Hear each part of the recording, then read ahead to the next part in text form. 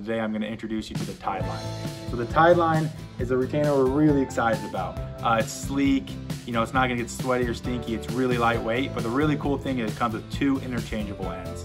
Uh, so these ends can be put on a wider frame, you know, kind of like your sunglasses, and you can simply just pop the retainer off of the ends and put them onto something smaller. They're made in the USA, they're lightweight, uh, it's very versatile, and it's going to fit almost any of your glasses.